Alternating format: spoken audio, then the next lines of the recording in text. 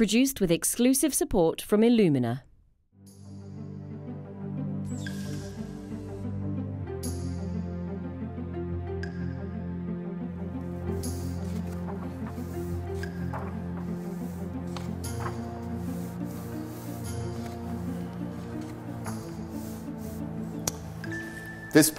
Dieses Buch ist das Ergebnis der Sequenzierung des menschlichen Genoms. Ein großer Erfolg im Jahr 2000, aber dennoch bloß eine langweilige Sammlung der Buchstaben A, T, C und G. Und zwar eine sehr, sehr lange. Mit dem Projekt Encode wollen wir den Buchstaben Leben einhauchen, denn schließlich bedeuten sie ja etwas. Encode soll uns ermöglichen, diese Buchstaben zu verstehen.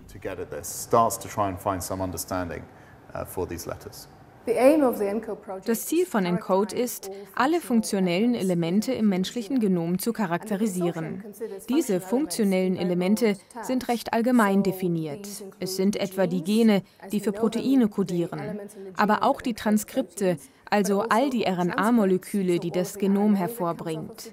Ganz besonders wichtig sind dabei die regulatorischen Eigenschaften des Genoms.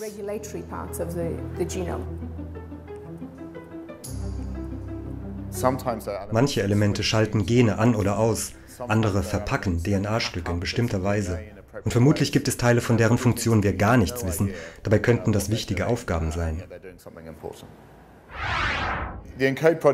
Encode läuft nun schon seit fünf Jahren Hunderte Forscher sind beteiligt, 400 allein bei der wichtigsten Veröffentlichung, bei den anderen noch viel mehr. Und es entstanden hunderte Terabyte Rohdaten. Diese Datenmenge ist nicht nur atemberaubend groß, sondern vor allem auch ungeheuer detailreich. Um ein Lebewesen zu erschaffen, das so komplex ist wie wir, braucht man sehr viele verschiedene Arten von Zellen. Und jede Zellart nutzt andere Bereiche des Genoms.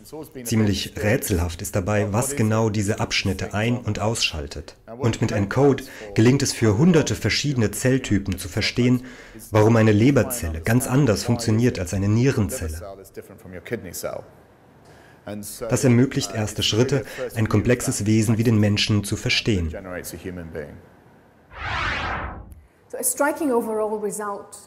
Ein verblüffendes erstes Ergebnis von ENCODE ist, dass tatsächlich Funktion in 80 Prozent unseres Genoms steckt.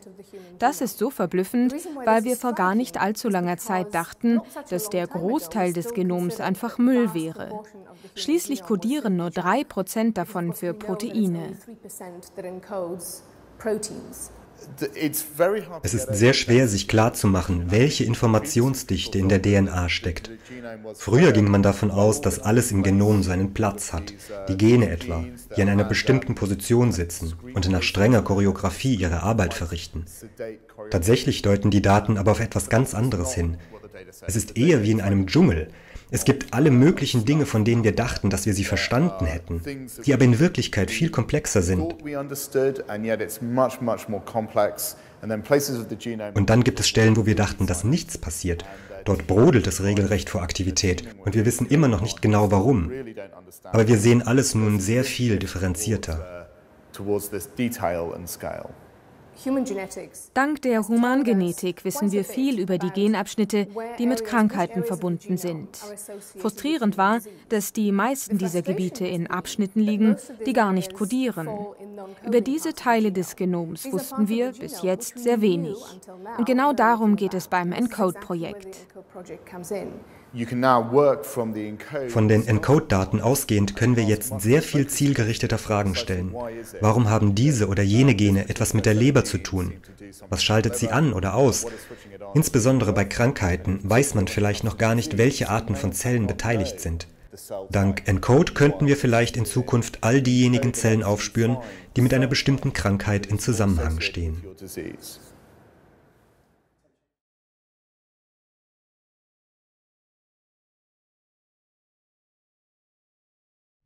Produced with exclusive support from Illumina.